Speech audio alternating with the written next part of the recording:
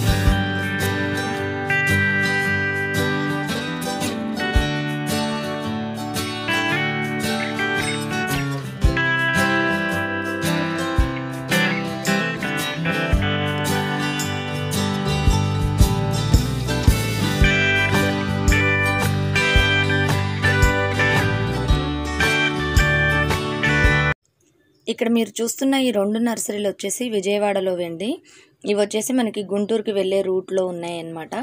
ఇక్కడ మనకి ప్లాంట్స్ అన్నీ కూడా రీజనబుల్ రేట్స్లోనే అనిపించాయి. నేను మీకు ఈ వీడియోలో చూపించినవన్నీ ఇండోర్వి కొంచెం కాస్ట్లీ మొక్కలు చూపించానండి. నార్మల్గా మందార మొక్కలు కానీ గులాబీ మొక్కలు కానీ హైబ్రిడ్వి అవన్నీ కూడా థర్టీ ఫార్టీ రూపీస్ ఆ రేంజ్లోనే ఉన్నాయి. ఇండోర్ ప్లాంట్స్ ఒక్కటే రేట్ ఎక్కువగా ఉన్నాయి. కావాలంటే విజయవాడలో ఉన్న వాళ్ళు ఇక్కడికి వెళ్ళి విజిట్ చేయండి. ఈ వీడియో ఈ వీడియో నచ్చిందా మీకు? నచ్చిందని అనుకుంటున్నాను. మరిన్ని మంచి వీడియోస్తో మళ్ళీ కలుద్దాం. Bye bye see you have a nice day